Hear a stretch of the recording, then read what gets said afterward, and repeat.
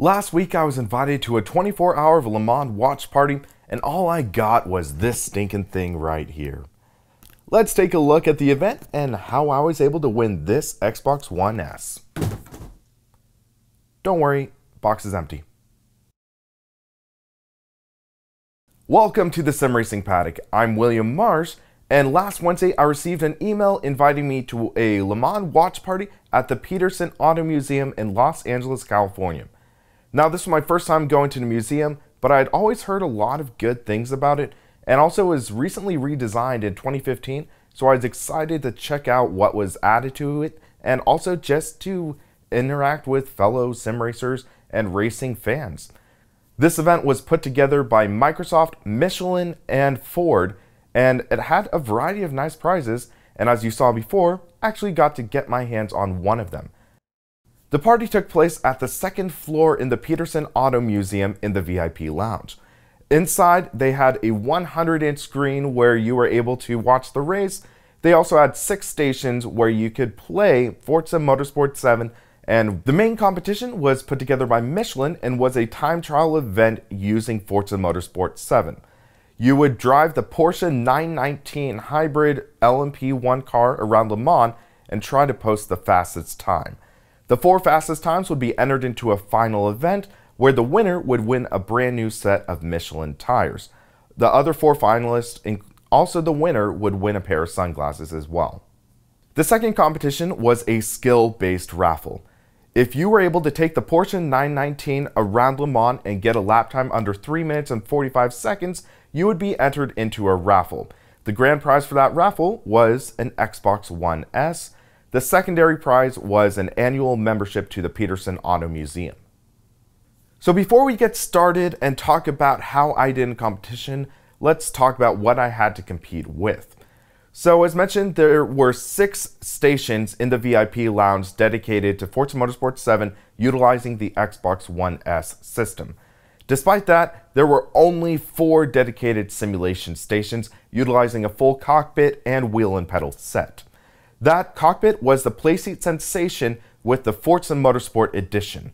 That was paired up with the Logitech G920, which was plugged into the console. So this was how we were driving, and this was actually utilizing the Forza Motorsport demo.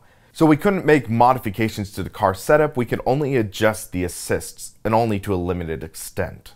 Outside of the VIP lounge, there was also another simulation station open to the public, which had four dedicated simulation rigs. And I did test there, but they strictly forbade turning off assists. So they didn't allow me to turn off any assists and I found out I was faster with the other setups. So driving with those simulation setups, that was honestly one of the more disappointing parts of the entire event. With that kind of setup, and especially with this being a relatively high profile event, I would have expected these systems and this cockpit and wheel pedal setup to be in less of a state of disrepair. The Logitech G920s on all four stations were in some state of disrepair. You could wiggle it around and it just wasn't a pleasant experience. The pedals were sometimes unresponsive, so I wish for this event put on by Microsoft, they would have had more stable equipment to drive with. Now, rant aside, let's talk about the competition. So, in my first lap, I was able to post a 3 minute 42 second lap time, and that got me my entry into the main raffle. For my first lap in the competition, I ended up driving with just all assists on. I didn't really anticipate they were going to allow us to turn off the assists. I expected that they wanted everyone to have all assists turned on to create a stable playing field. But later on, as I talked with other people who competed in competition, they were telling me they were turning off assists and didn't really have a problem with the people running the competition. So for future laps, I was able to turn off my assists and I actually posted a lap time of 340. And then with about 10 minutes ago before the cutoff, they told me that I was barely outside of the top four finalists for the tire competition. They said that third and fourth place had both posted times of 3 minutes and 39 seconds. So I decide, okay, I'm gonna try posting one more lap, see if I can make my way into this finale. But unfortunately, it wasn't meant to be. In the middle of my lap, which would have qualified me second in the final, they decided to announce the four winners a few minutes early.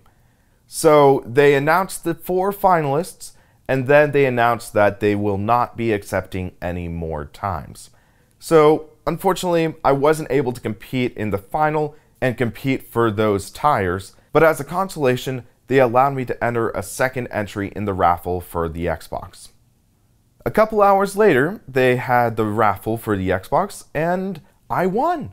So at least I was able to come out of this not empty handed, but it would have been interesting to see how I would have competed in that final for the tires. But all things considered, it was a memorable event, a lot of fun, got to meet some cool new people, and also got to see my brother in law Robert driving a sim. That was a lot of fun. But yeah, hopefully now that I have a decent Xbox One S that I can use now, hopefully you can expect some more Xbox based content from Sim Racing Paddock in the future. What titles would you like to see me cover? Let us know in the comments. Also, if you enjoyed this video, please hit that like and subscribe buttons and help keep us on track. For the Sim Racing Paddock, I'm William Marsh, and you have a great rest of your day.